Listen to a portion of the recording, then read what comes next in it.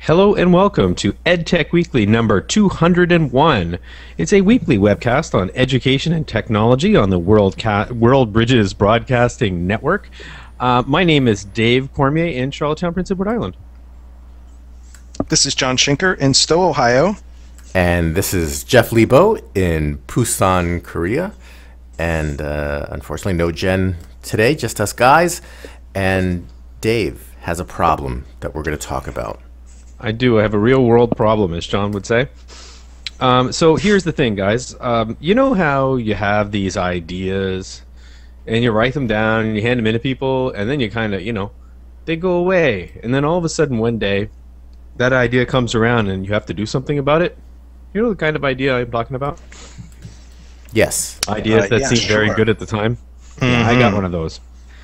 So there was this thing. I said I was going to run an open course for students, first time entrants, really targeting students in their last year of high school. And they could come in and they could take a five week course talking really the basics of what it is to be to come to university. So what's a student expected to do? What's a professor like? What's research all about anyway? Just that kind of stuff. Sim- five simple topics over five weeks was the idea for the first week. And then what I was going to do was build that up to a full length course and see if we couldn't offer credit for it.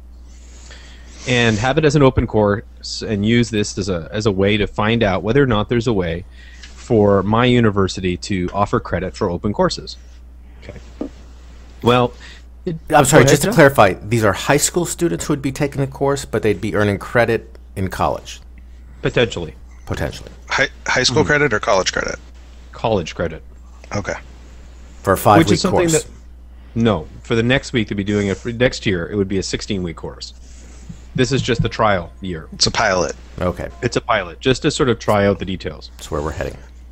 so we started down that road and it's a good thing we set it up with a pilot because it turns out that the people who would have been doing the accrediting inside my organization decided they didn't like the idea so much they weren't quite sure how it was going to work and, and they had grave suspicions about the possibility of pulling it off which i think really credits their intelligence um, because there are a lot of problems with it. It's not impossible, but but it's it's a long road, and if you're not passionate about it, it's not one you want to go down. So, I still have a funded project I need to do something with. So it's not going away. I still have to do something, right?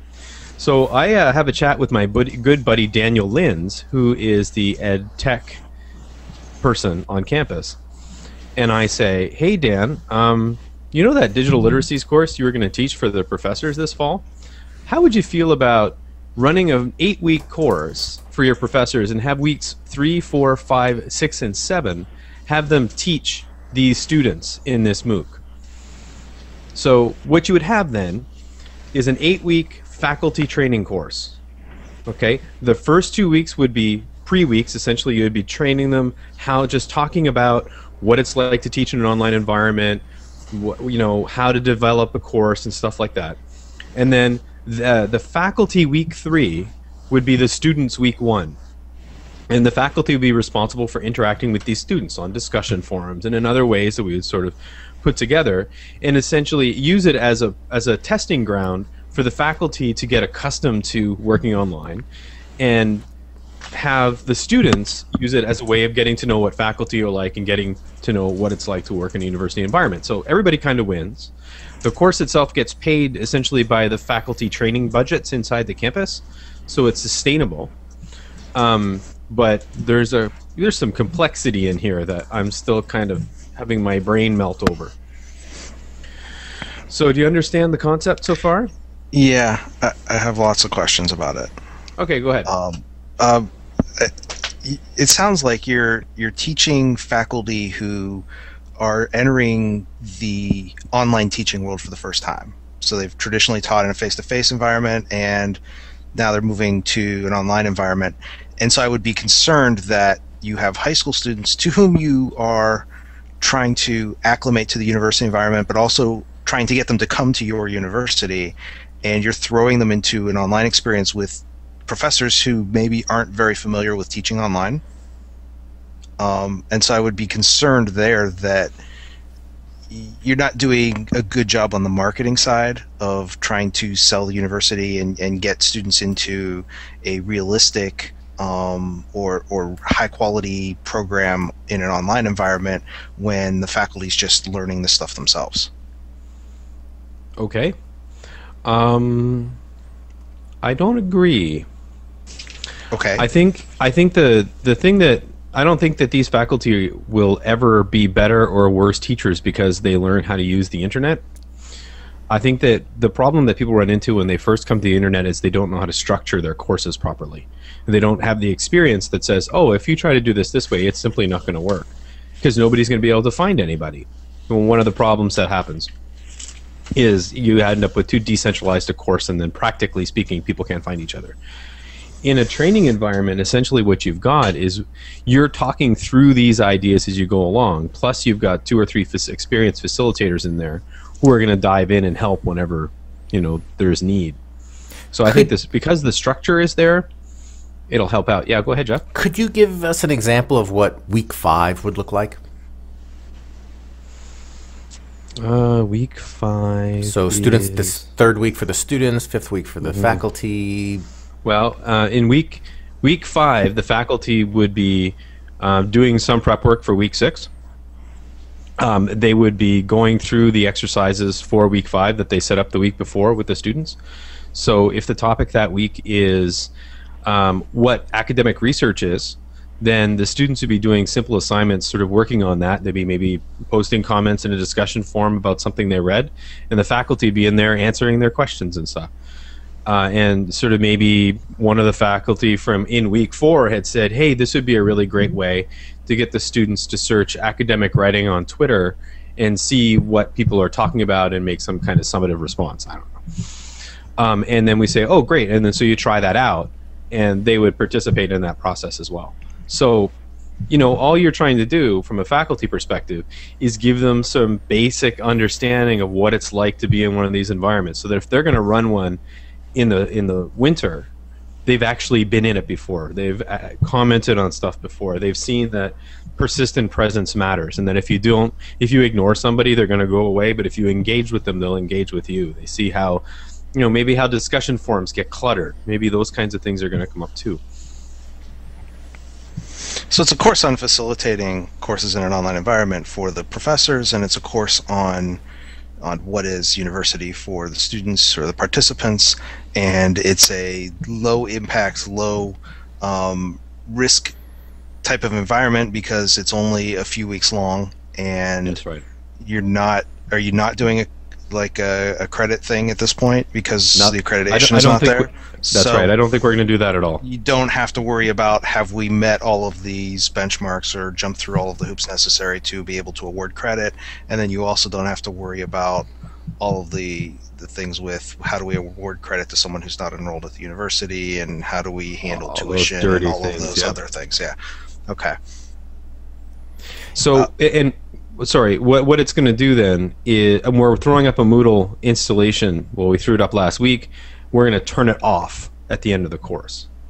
So Mhm. essentially, we don't know how we should be rolling these over. What the plan is for. So what we're going to say is, look, at the end of this course, we're going to give you the option to export your stuff, but we're deleting this because we don't want to keep this data. We don't know what to do with it yet. We're not we're not at that place. This is really a pilot. So Right. the next year we'll probably put something in place that will make more sense. But right now, just for security's sake, just we're just going to hit the delete button on the last day. And part of this you're doing because of funding. You have some money to spend, and so you've got to spend it. Which part? What would you be doing if that were not an issue? Uh, I, actually, you know what? I really like this project. Um, uh, three months ago, I was very uns- when I found out that my accreditation thing wasn't going to work out. I was very concerned about going forward with a project without a clear vision of what we were going to do. Over the last month or two, Daniel and I have banged heads for many an hour, and we've come up with this project, which I think is actually, I think it's got potential, um, and I think it's it's an exciting thing to try. It's not something I've ever tried before. Um, it's got that great sort of double-endedness to it, where you know you're inside the environment. And so, do we create two courses? One for the faculty, and then one for the students. Do we have them work in the same course? Do we have them like? There, there's all these really interesting questions. You know, how do you call the weeks, and we've decided, for instance, our solution for the weeks is pre-week one, pre-week two, week one, week two, week three, week four, week five, and then post-week one, just so the numbers don't get messed up. So week one is always the third week because otherwise it's week one for faculty and week one for students, which is actually week three for faculty. Yeah, or maybe you don't use numbers at all and you name the weeks. Yeah, butterfly week. The Green Week. uh, I like it a lot, Dave. It- I, th- I think it it is drove- very innovative. I think that's why they put innovative in your job title. And like you were saying, I, I like. I think it's a learning experience for everyone. And even if it's a a flop, something's going to be learned. Well, And you I know don't what? think it's going to flop. I don't think it's going to flop either. We got 15 faculty registered, which is pretty good for us. Like it's that's a huge amount That's of faculty really engagement. Um, and it's free for them this year. Uh, next year we may charge them out of their faculty budgets, but not this time. I mean, we don't even know what we're promising to give them. You know, um, I don't have any students yet. Uh, I'm banking on the fact that uh, right now we have an election here on PEI on Monday, uh, and so you can forget getting any word out about anything in the last week and today, tomorrow. So I'm hoping that in a week and a half, with my internet connections online, with um, you know, sort of making some contacts here locally, that we can get. Because I don't care where these students are from, right? You could be calling in from China if you want to. It doesn't make any difference to me. Good question, Teach Um, 15. What is Dave's job title? I'm the manager of web communications and innovations at the University of Prince Edward Island. The manager of innovations. It's like a modern day Willy Wonka without the chocolate. Yeah. Yeah. The communications part takes up more time than the innovations part, but that's just the. Yeah, can't I put that part in like bigger font size on my part. it's neat though because it's it's funny how all the experience that I've had running projects with World Bridges has helped sort of so much of you know people come in the door and they go look I've got this crazy plan and I go yeah that's a really dumb idea what do you mean well let me let me walk you through how this is going to work Oh. you're going to create this wonderful project where all of these people are going to submit wonderful new things. Like they're going to submit all their best work. And how many total could there be in the world of the people you've defined? 15. Okay, have you talked to any of them? No. Have you talked to the Department of Education? No. Do you know have you made contact with these people? No. Do you know how long you're going to keep the website up? What do you mean? Well, once you decide to take in all these people's content, how long are you committed to keep it running? Well, won't they keep it running? No. it's great. I mean, how many? Yeah, those websites that lived off the side of world bridges for years. You know what I mean? I'm glad our stay years of uh, learning experiences was useful. So anyway, uh, digging into the details of the project, two separate courses or one course inside of Moodle? Two. One. Ah, I would have two, but but where the one for the professors is mostly just form based, um, which gives them a space that's separate from uh, the place where they're interacting with students, that allows them to interact with the other faculty and with uh, you and Daniel and whoever else is is helping them learn this stuff. You could set up two groups within a single course, couldn't you? you could. Why would you? I like the idea of the faculty and the students learning together. And I feel like there'll be enough segregation. It's clear who's faculty and who are students. But Are you going to have all of the faculty teaching the same course? Or, I mean, is the ideal situation that each of these 15 participants has his own group of students? And so you're running like 15 different sections of this, or seven different sections, or you have 15 teachers teaching the same course at the same time with the same group of kids? I, I don't know that they're used to teaching in that kind of environment, or that the students are used to learning in that kind of environment. Hmm. It's a good question. I mean, that might be a, that might be a place where the groups come in, where you you take the the whole group of students, and maybe you have hundred students, and you can divide them up into groups, and then you have two professors take each of those groups. Or what we could do is set up, you You could set up five courses and just filter the drop the students into courses as they come in. Yeah. But That's then, just the group what- stuff don't you want one confuses me. space for uh, if everyone wants to ha- be in one place? Um, the different courses separate that. Yeah, I don't think I'm going to get a lot of kids. Um, as long as I don't get many students, it's okay. And you, this is being run as a MOOC. Uh, yes. Uh, how would you define it? Well, I hear it's massive, open online, and it's a course.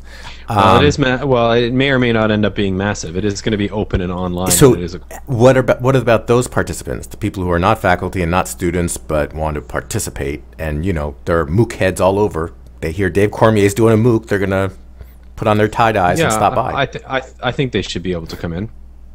and how are they? What are they going to be doing that's different from either the students or faculty, or what different permissions or? A good question. Hmm. Your bouncing is a little distracting. good question. It's gonna be exciting. Dave said I had a good question. I don't know. It's a good point. I mean, I um I really like the idea of understanding how flattening the web is in that sense, where your status is not nearly as important as how much you've contributed.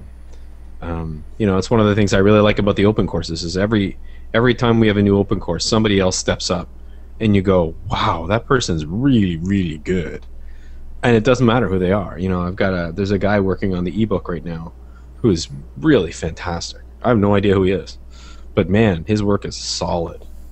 You know, and that's what I really love about the open stuff is contribution. So, you know, maybe we do leave it open, and that actually, I think, pretty much settles the argument for the separate course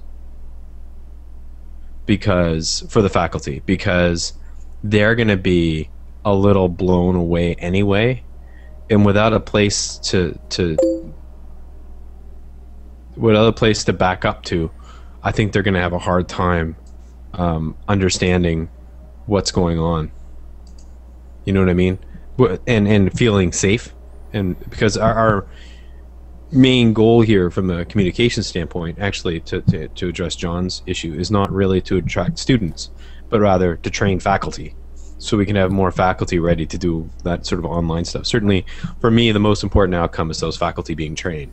And so the content of the each week or the course in general is not especially UPEI specific. It's It's not at all. Okay. No, no. It's based on those. Did you see those videos we made a few months back? The ones Yes. with uh, what is a student? What is a those there? professor's each one of those is gonna. Yeah, each one of those. each one of those is gonna headline a week. So the idea is to have the video saying, "What are we talking about this week?" Flip up the video. There you go. That's what we're talking about this week. And then break it down from there. I mean, I do think it's important for the UPEI faculty to have a separate space where they can interact without knowing that anyone else is listening in. I don't know if another Moodle course is the way to do that. I think to get through the pilot, a Moodle course makes a lot of sense because there there's some familiarity there, um, and it gives them an organizing platform. I think dumping them into a MOOC and saying, yes, you can communicate with one another, communicate as a group using whatever tool that you want or whatever tools makes the most sense to you, might be giving them too much flexibility without But is giving that them enough separate direction. course just going to be a mirror of something else? No, the, the the idea of the separate course it would have it would be pre week one, pre week two, one, two, three, four, five, post week. But in the in that course, what you'd end up doing is, um, just a second. In that course, what you'd end up doing is, um, planning out the next week. So essentially, for week two, your most of your uh, pardon me pre for pre week two, most of your time would be taken up designing week one right? So there's two parts of it for the faculty. One of them is design the next week, and the other one is do this week, right? So you're kind of you're always in both camps. Well, and What you're and you're reflecting on last week too at some That's level. that's right. That's right. Of course. So what we've got set up then is we've got the faculty broken up, and I don't even know how hard. That, I haven't told you about this yet. What what Daniel did when he offered the course is we have one hour of face-to-face time with the faculty a week, plus hopefully they'll work online because it's not a course, right? We're not asking them to devote a massive amount of time here. They're faculty with pre-established schedules, so they haven't like they didn't magically get more time to do this. So it's tried. It's hopefully built so that they can engage with it a little bit and still have a positive experience. Um, but we have three meeting times during the week. So if we have 15, let's say we get five on Monday, five on Tuesday, five on Friday. Any faculty get the option to come to more than one of those sessions.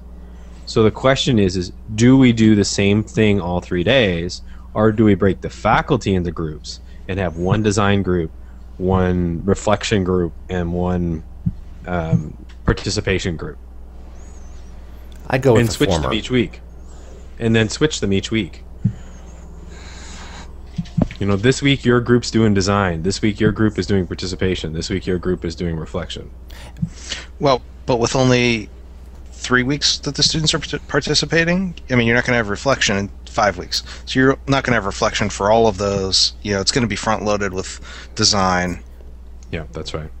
You know, it's not like you have the same amount of stuff to do in each of those week. Um, maybe let them drive it. You know, you, you have a certain number of things that you want to do, or you want to you want to at least address each of those with each group every week. But you know, let them in each of those sessions determine which of those is most important. Do we need to spend more time on, you know, on what's going on this week or on what we're doing? You know, we're okay with what's going on this week, and we'll uh, debrief that next week. But right now, we really need to focus on what's happening next week, um, and let them sort of drive that in each of those sessions. And they could, of course, be very different from one another. Hmm. I just teach 15's comment in the chat room there. Basically, your goal is to train professors with online learning experience while attracting prospective students. Um, I would be more than happy if the students that we talk to are attracted to come to the university.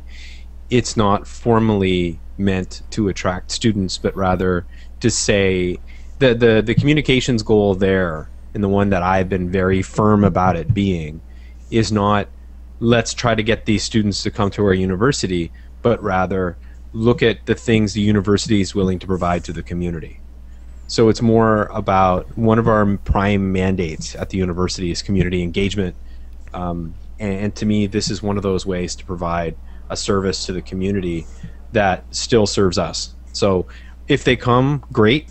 Um, I don't think the way that it's set up makes it a particularly effective recruitment tool um, nor is it really intended to be. If people come along and they see us and they say, "Hey, wow, UPEI, never heard of it before," and they check it out and they want to come, oh, sure, that'd be that's fantastic. I mean, I obviously that's that's a plus, but it, it's not designed as a recruitment tool. So there's no. I say that as much to defend myself, I guess. There's no hidden What- message in the course. Like there's no. Yeah, I think I had framed it as a marketing tool, and that it was not accurate. And I don't, I don't know that you necessarily said that, Dave.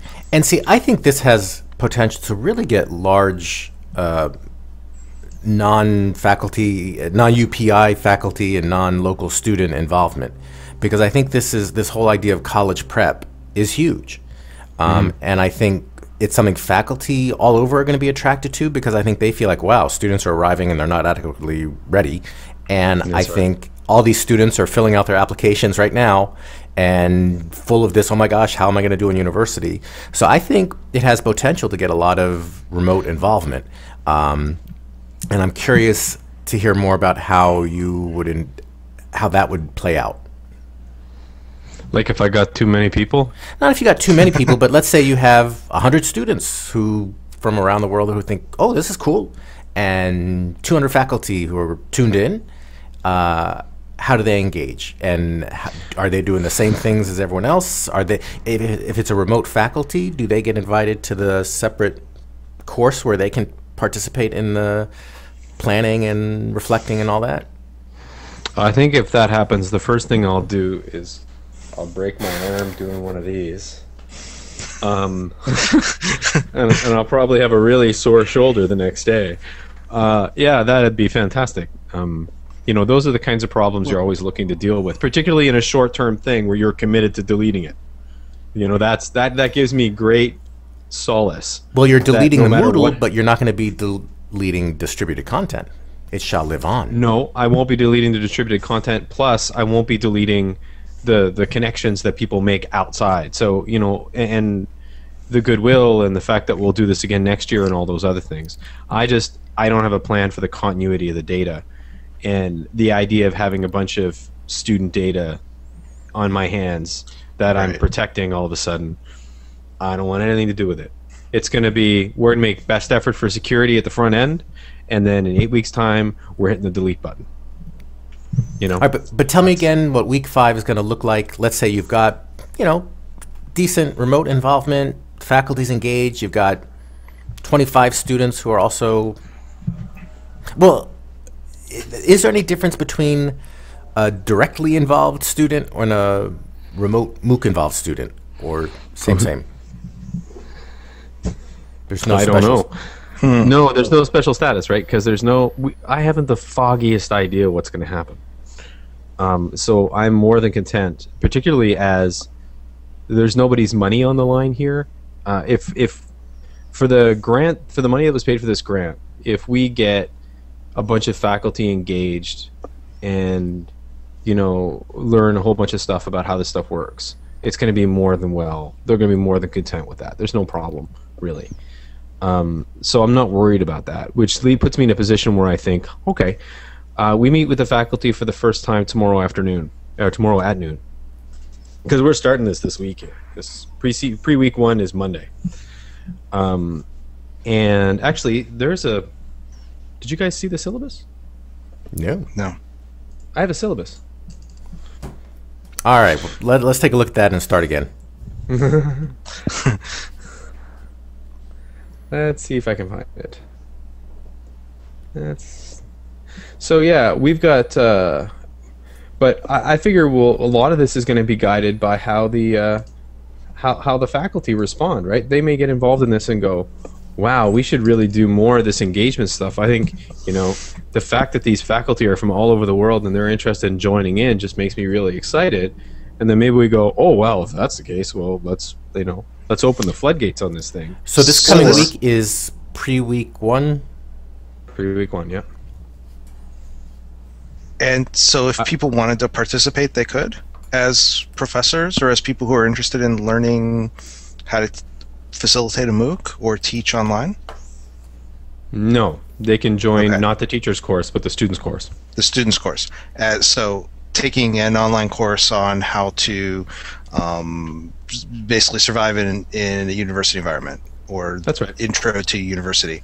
And you're looking That's for right. students to participate and how would they do that if you you know, say you were doing a webcast or something and a bunch of teachers were listening in and they all know some students who might be interested in doing this.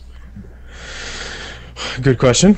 Um, as of now, we only got the Moodle environment set up on Friday. So what they would do is go to upei.ca slash experience u and hopefully by Monday morning I will have the instructions posted on how they can actually join. Um, did anybody see where I put my chat room? No. It's on the right. Yeah, It's under so it's under if- the headset. It's under the headset. So if you go to uh, this is the link to the Google Doc for those of you who are interested. Uh, if you click on that, you'll see a um, rather rapidly drafted syllabus by one Dave Cormier.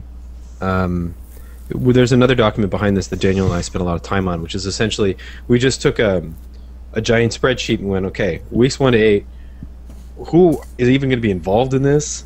and what are we going to do for each of those? And we just kind of started peppering in the boxes, you know. And then finally, we had enough of a structure. We went, okay, I think I understand how this is going to work.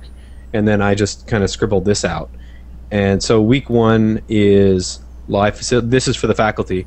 Week week three, which would be students. Week one is live facilitation. Week four, persistent presence, collaborative work, research and web, and then analytics are the kind of uh, super themes for the faculty. You know, the ones that that we're going to sort of go through that week. So with week seven analytics, when you're in Moodle, there's no sense talking about it in week one, right? But this is one for the faculty, John. Um, Yes, I understand. Yeah, that's the one for the students. That's right. Yeah. So that has the student videos on it, and like I say, I'll post the instructions for that here um, tomorrow morning. We don't have them yet, but because if the students are only starting in two weeks, right? Does that mean that week three, aka week one, the theme's going to be what's a student? Yes, that's exactly what it means. That's exactly what it means. So, what's a student? What's a what's a faculty member? What's research? Those kinds of things. Uh, there's still two of them that aren't finished, but they'll be up shortly. Um, certainly, they'll be up before we need them. the the student who did all the videos, who, and I'd like to have him do all five of them, uh, was away for this. Ended up being away for the summer, so we didn't get them done. I hate to torture him when he just gets back to school. So right about now, he's really got the time for us to dig in and get those other two done. Um, so that's kind of how it's structured. Um, you know, week two is developing discussion forums, which you obviously are going to need if you're going to get them started in week three. You know what I mean? So the hope is is that there's a little bit of tension there, a little bit of oh geez, we got to get this ready for next week. But I think that makes for fun classrooms. You know, that gives you rather than having faculty just talking about stuff in in the netherworld, having that that group that's coming is something that could be really interesting.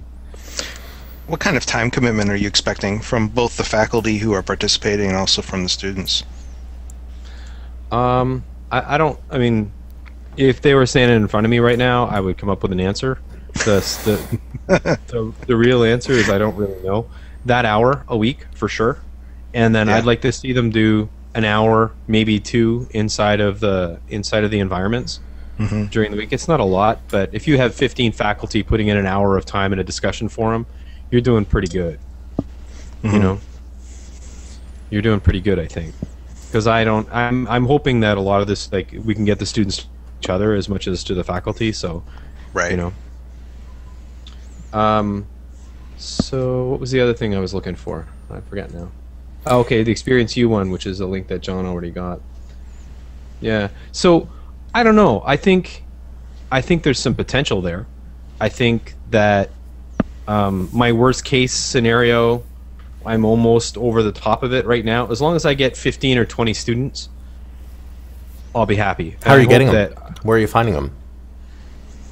Um, I've got a. uh, Depending on how the election goes on, on Monday, I'm going to be calling the, the Minister of Education, um, and that if he doesn't win, it will make it more complicated. Um, um, but I'm going to be. he won't answer gonna- the phone? Or well, I'm going to be doing a fair amount of sort of media push as well, trying to get out there. Because again, this is one of those times where I'm allowed to use my department, right? So I actually run like I'm, I'm part. I'm a manager in a communications department. I so I have a certain number of tools that I can work with um, to try to get attention to things, particularly when I think they're structured in such a way that that they're at least interesting to talk about. So the university giving away a free course teaching students how to get prepared for university.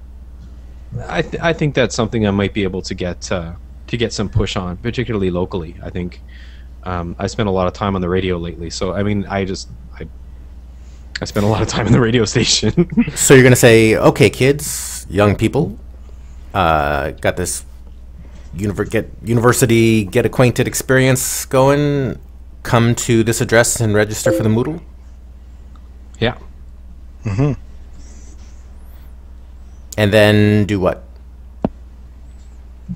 And then do the uh, the work and, and, and participate according to the way discussion question in the forum and um, Oh, you're asking the details bit. I don't want to actually firmly declare on the practices that we're going to use inside the course until we deal with that with the faculty. are you going to be It's- encouraging? It hasn't been determined yet, right? Because you have a, a cohort of faculty who's going Wouldn't to be an authentic experience if I had it predetermined. Yeah. Would you be encouraging Right. distributed content where you say, "Hey, this is also a MOOC, which is this cool new education thing, and Oh, start your for sure. blog"? And I, I would definitely encourage the faculty to go ahead and do that, um, and anybody else who's participating to go ahead and do that. So if you look at that first topic, and you imagine us, th- this is the whole side of this. I haven't even had time to think about yet. But if that first thing is what's a student, I would love to see a conversation develop across the internetosphere that dug into the question of what a student really is. You know, I would love to see that process happen and then bring that broader discussion back into the course.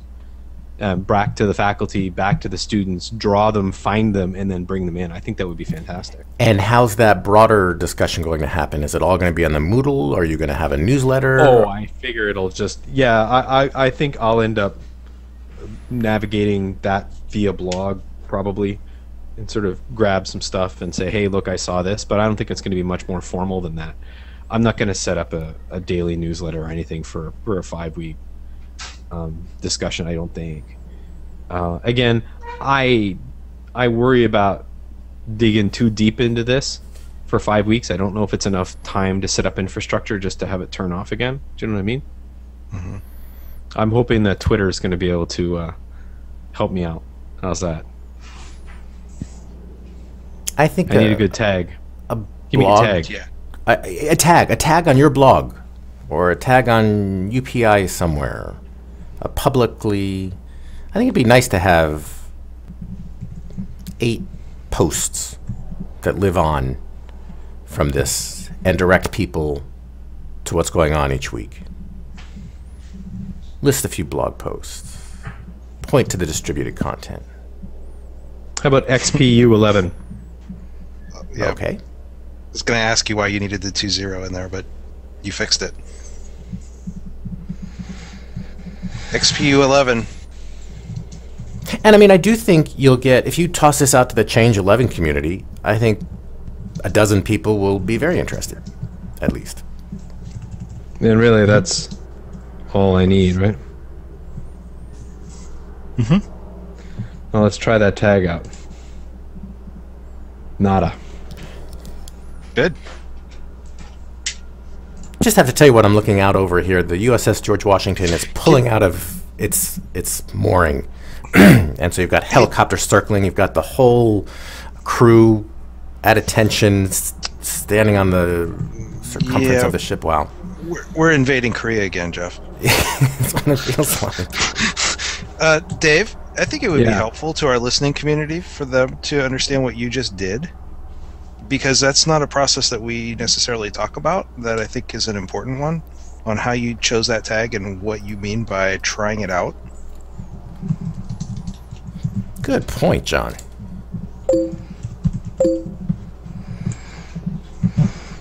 Um, yeah. So one of the things that we need to, sorry, um, the back channel giggle there. Um, don't go registering that before I do there, John, Jeff. All yours.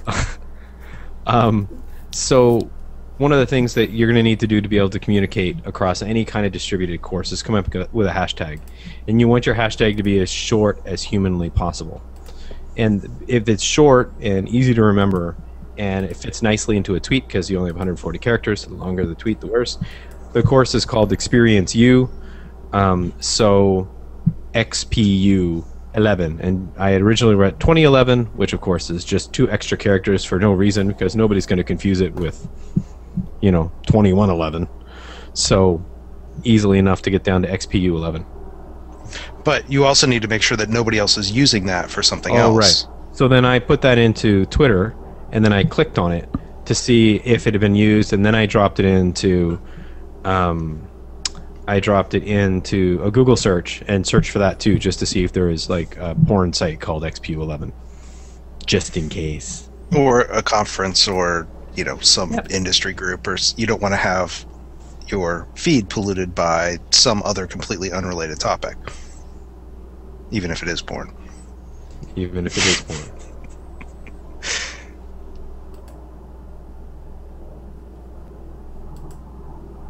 Whoa. So, oh, I messed stuff up. Sorry, people. This this has been really really helpful actually. There's a lot of things that have come out of this that um, really food for thought. This is one of those where I'll probably turn it on tomorrow morning and go, okay, let me think about this again. Which which one of the good points did they bring up have I not covered over? Has has there been anything like this out there? Not that I know of, man. Yeah, I end up with a lot of places like this where it's like people ask me that question a lot, and I go, I haven't seen it. It doesn't mean it doesn't exist. I just uh, is this the USS George Washington we're about to look Yeah, at I think I get too much lighting to. Just give it a second. Give it a second. Let it adapt. I see. I see a dirty window. Yes, yes, you do. I see a filthy, filthy window. Yeah, yeah, too much dirt. Yeah, and we well we need Jeff to talk more and Dave to talk less too because it keeps switching.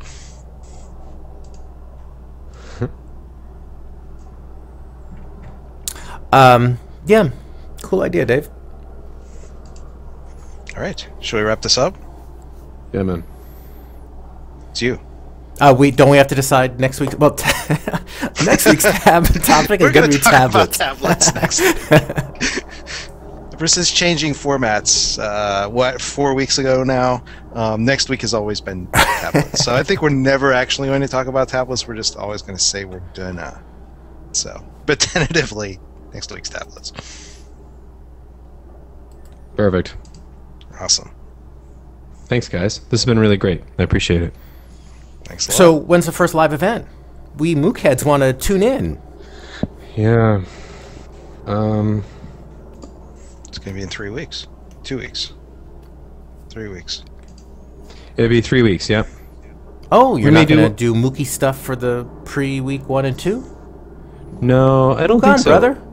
We're doing face-to-face stuff there, so I don't know that I have the schedule to try to get anything done before then because I'm still working on the other MOOC. Um, so I think I'm gonna wait a little.